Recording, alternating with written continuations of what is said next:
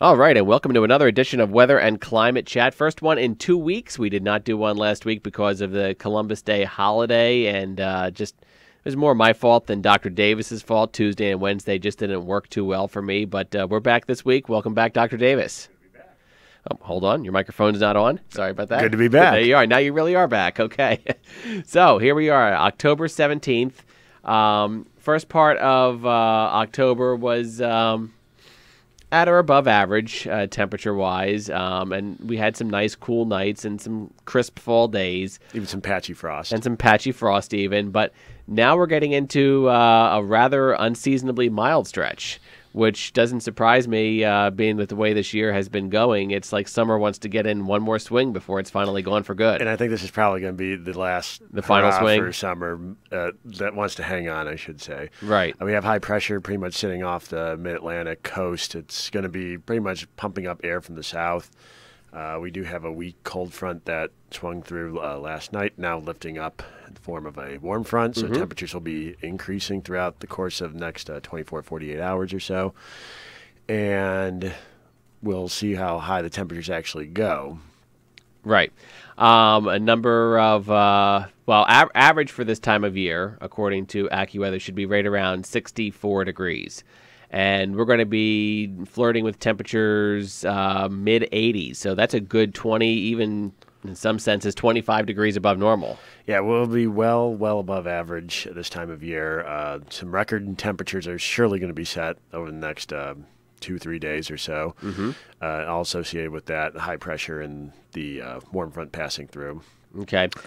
So, uh, how unusual is it to have one of these uh, spells of uh, extremely mild weather in in fall? Uh, now, now, in October, you do have some variation in temperature that's to be expected with the transition season of autumn. Mm-hmm. You're going to have these swings in the jet stream every now and then, but of this magnitude, I would say it's fairly uncommon, if not not completely unheard of. But it's uncommon though. I'll go with that. Well, let's just remember that in the past uh, the past year we had 72 degrees on Christmas Day. So yes, and so compare putting that into perspective, this is not really that. And we have seen 80s before yes. in October. It's not completely out of the question. We've also seen really cold temperatures in October. October can go either way. You and I were talking yeah. off the air just about five six years ago. There was that big snowstorm right around Halloween. Yeah, yeah. That gave us eight ten inches of snowfall. It's hard to believe that we're in the same time of year that we had a snowstorm a number of years ago, and now we're talking about temperatures in the 80s. So that's pretty pretty crazy. But that's just all the part. That, that's just a whole process of uh, you know the change of seasons, the jet stream making some moves, and uh, summer not wanting to give up. And I got done uh, lecturing in class today about uh, the second season, mm-hmm. referring to what meteorologists call the uh, second peak of severe weather. Right. Typically, it's in October where you're going to get more of the severe weather and uh, potential tornadoes, just because the jet stream is reverting to its winter type uh, pattern, which will be further to our south, allowing the colder air to go further southward typical for the winter time. Right. So, just uh, t- taking a look, comparing three different sources that I like to compare the temperatures this week. Uh, we got uh, uh, AccuWeather wants to give us a 78 today, 84 tomorrow, 83 Wednesday, and then we start a slow step downward uh, Thursday. Um, so AccuWeather is going with the warmest day of the week being tomorrow. I'm not so sure about that. I, I was going to think uh, Wednesday. I'm thinking Wednesday will probably yeah. be the warmer day too. Yeah, let's see what uh, the Weather Channel thinks. Um, no, they're they're agreeing. They think the warmest day is going to be tomorrow at 82.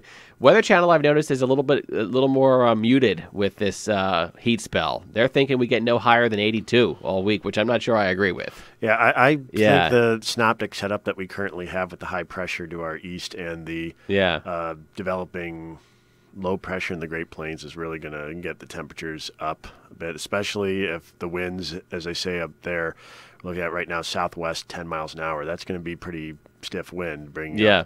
that um, warmer air from the southwest. Yeah, I, I, did notice that that the winds are going to be pretty stiff, so maybe it won't feel like the depths of summer because at least we'll have a nice breeze going there, but it'll still feel pretty toasty. It's still advecting yeah. that warm air northward, yeah. and we'll definitely see the mercury soar for it. Let's see what, uh, what the uh, National Weather Service thinks. Um, they're on our side with this one. They think the Wednesday is going to be the, the, the warm day. Not uh, much so, 83 84. Yeah, 83, 84 so. Um, it looks like fog is going to be an issue perhaps every day this week, and that could just be because the temperatures are going to be so warm. We're going to be near the dew point, right? Yes, uh, Yeah. overnight you're going to have clear skies, typically with the high pressure system and calm winds, and temperatures will be cooling off to the dew point. Get saturation, you'll get the um, dew to appear. An interesting little uh, numerical statistic that I heard them mention. I think it was in the National Weather Service forecast discussion. Either them or somebody else mentioned it. Some of these low temperatures that we're going to have this week are not too far off of where we should be for highs. So that just proves how warm it's going to be. correct. Yeah. yeah. we're looking at uh, lows in the potential 60s there. For, Yeah. was that Tuesday night? Yeah. Yeah, so and then high sh- average high should only be around 64. So our lows are not going to be that far off from highs. So we, could we potentially have some record high lows as well, which happens It, it wouldn't surprise me. Yeah, that happens given, sometimes. Uh, the current situation. Yeah. Now it does look like we're going to have a, a gradual step toward cooler weather, and by Sunday, potentially even a little below normal. Tell us what's going to happen there. Uh, that's when you have this low pressure system that I was talking about earlier in the Great Plains, and its cold front will be swinging through probably by the weekend or so, and that's really going to knock our temperatures back to our seasonal range. Yeah, I mean earlier this week the the GFS was implying some potentially uh, healthy rains on Friday, but right now it's not looking like that's too much of an of an issue. Uh, I heard the National Weather Service mentioning uh, focused perhaps more on northern and western regions, and I'm seeing what they're talking about here. It looks most like that most of the rain stays just to our west, and then kind of you know spins around and fizzles as it gets gets to our area. So uh, the trough looks pretty amplified by Sunday, so Yeah. be a nice uh, shot of cold air coming down. So it looks like Sunday morning around 7 a.m. If this is correct, uh, some gusty north north winds and total opposite of what we're experiencing now. yeah, the, we'll be back to our Back to normal. normal selves. Back to normal, and then uh, the rest of October looks fairly average. Maybe we might even sneak a little bit above average again next week. You know, it just uh, it just seems to be the trend, the you know, at or above average, and we pretty much expected this.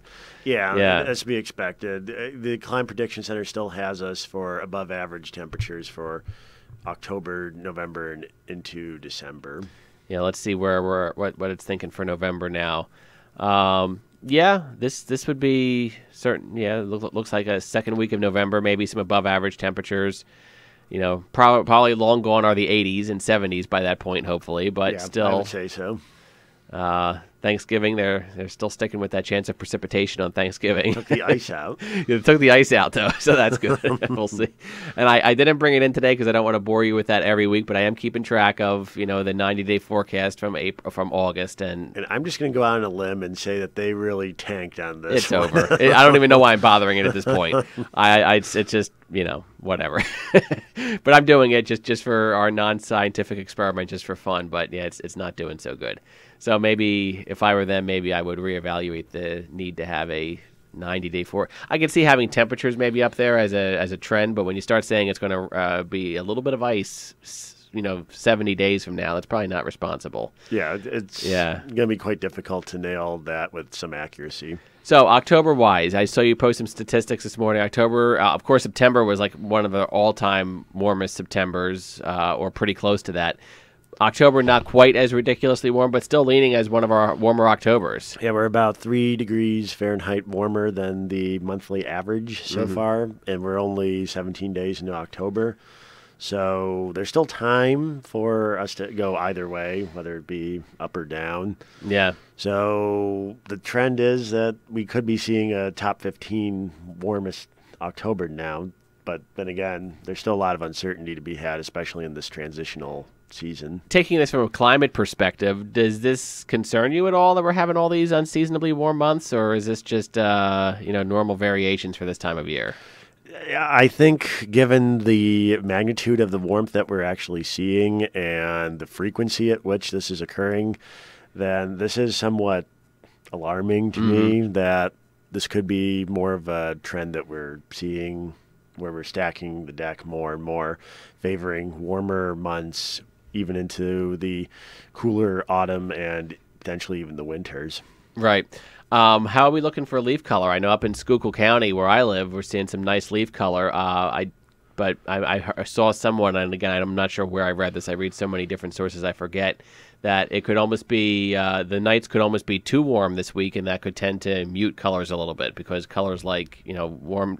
Warm, generally mild days, but cool nights. But this week we're not even going to get that cool at night. Yeah, I don't know how much of the color would be affected by that personally, but I know there are some patches of foliage around the area. I mm-hmm. don't think we've reached our peak yet. No, peak is not quite. I, I think it's getting close where I live because when I drove in this morning, it was pretty nice. But then just going over that mountain, you see the difference down here. It's really not that colorful yet. But Around obvi- campus, there are some Yeah. patches of color. obviously, the, if you want to see color now, Poconos is where it's at. oh, yes, much. definitely. yeah. Poconos. That direction. And uh, up in New England, Vermont, they're already done. They're already past peak. That's right. Uh, it, you know, times move on quickly up there, and they're they're getting into their, their colder months. But uh, yeah, I mean, it's definitely going to be warm this week, but we do cool back. Uh, you know, after this week, and then get into a slightly cooler pattern next week. That looks right. So we'll see how that goes. All right, Dr. Davis, I know you're a busy man this week. We'll, we'll let you go, and uh, thanks for joining us here. And uh, follow us at Monsoon Mike's Weather Headquarters and Dr. Michael Davis's weather forecasts, correct? That's right. All right, you have a great week, and we'll talk to you soon. Sounds good.